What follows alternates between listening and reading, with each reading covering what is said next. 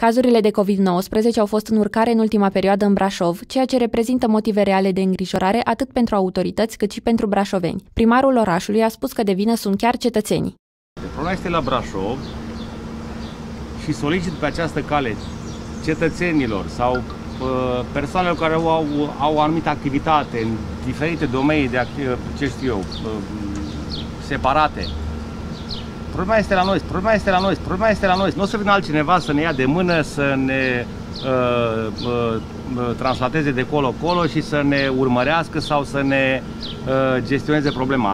Întrebat despre cazurile de infectare cu COVID-19 existente în primăria Brașov, edilul orașului a evitat să ofere un număr concret al angajaților depistați pozitiv. Totuși un număr de bă, contaminați din primărie există? Cât sunt? 5, 10 confirmați?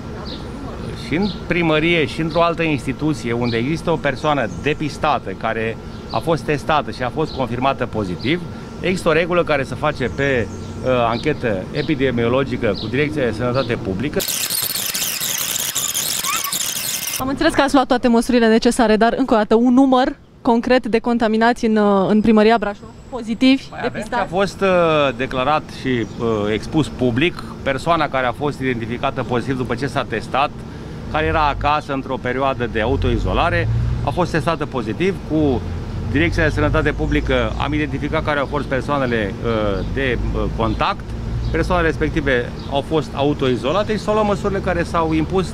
Câte cazuri există în primărie, câți funcționari publici sunt sau nu testați pozitiv, va rămâne o enigmă. Primarul orașului a ales să tacă. Potrivit ultimei raportări de astăzi, în județul Brașov s-au înregistrat alte 32 de cazuri noi în 24 de ore.